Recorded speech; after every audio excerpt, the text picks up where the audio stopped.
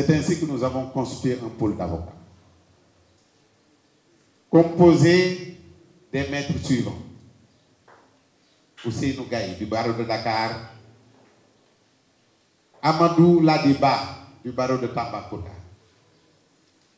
Siré Clédorli du barreau de Dakar, Demba Siré Bachidi du barreau de Dakar, Bamba Sissé du barreau de Dakar, Boukounta Diallo du barreau de Dakar. Et Étienne Dion du barreau de Dakar. Ces conseils nous serviront de prendre en charge nos camarades qui sont actuellement en audition à Tambacounda.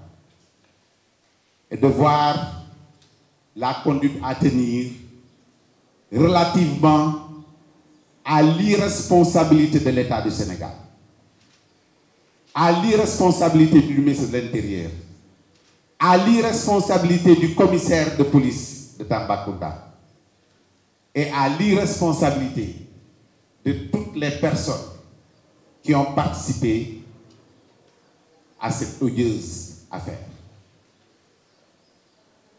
Au moment où je tiens cette conférence de presse, seule ma garde rapprochée est en train d'être entendue et certains éléments de mon parti. Aucune autre personne n'a fait l'objet de convocation ou l'objet d'audition. Je réitère mon appel solennel. Cet appel que j'avais déjà lancé au début de la campagne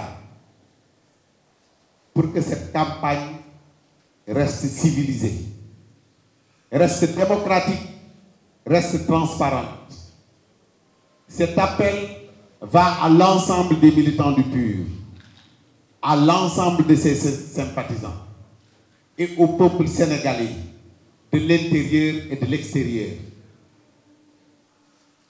Ce sont les urnes qui, le 24 février, feront la différence. Je vous remercie.